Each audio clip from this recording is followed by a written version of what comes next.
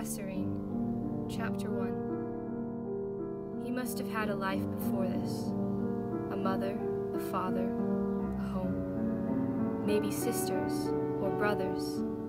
But it had been so long, too long, and now all he knew was this bloody game. His hands knew no other shape than fists curled tightly around a sword, swinging eternally, finding its mark through skin.